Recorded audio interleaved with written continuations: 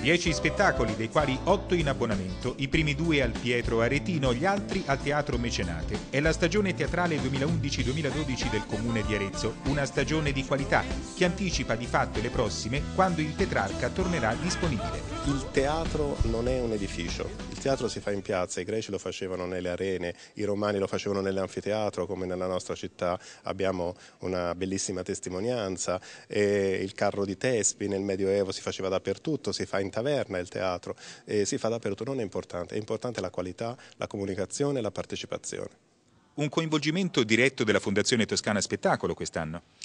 Sì, grazie alla fiducia che il Comune di Arezzo ha avuto nei nostri confronti. Abbiamo fatto le corse, abbiamo fatto l'impossibile perché siamo partiti tardi e tuttavia noi condividiamo il progetto, investire sul pubblico prima ancora che riapra il Teatro Petrarca. Assolutamente sì, con 10 spettacoli di livello nazionale, 10 eh, più grandi interpreti del nostro panorama, due spettacoli qui al Teatro Pietro e 8 al Nascituro Teatro Mecenate.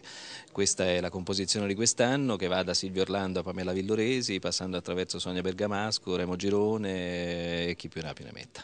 Bene, fra giorni inizieremo a pubblicizzare tutta l'attività per gli abbonamenti,